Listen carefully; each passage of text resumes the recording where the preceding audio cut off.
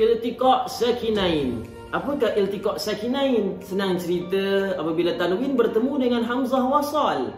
Dan macam mana kita nak bacanya? Dengarlah penjelasan saya selepas ini.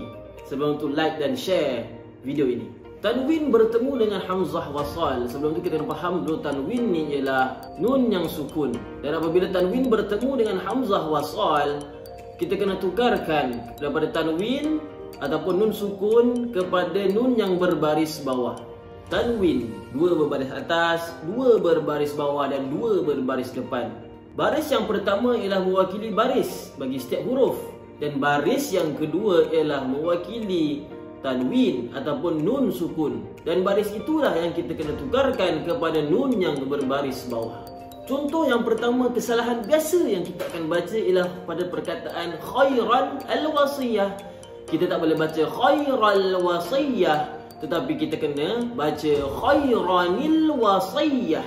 Dan contoh kesalahan biasa yang kita akan baca ialah yauma idzin alhaq kita akan baca yauma idzil haqq. itu salah. Bacaan sebenar yauma idzinil haq qaumanillahu mathalanil qaumul أموال اقترفتموها. عزير ابن نوح ابنه كرماد اشتدت خبيثة اجتثت. لوط المرسلون يومئذ السلام.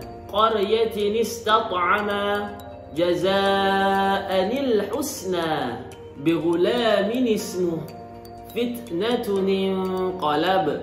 سواء العاكف إفك افتراه نوح المرسلين عاد المرسلين لوط المرسلين بعض القول بزينة الكواكب شيئا اتخذها عادا الأولى ورهبانية ابتدعوها.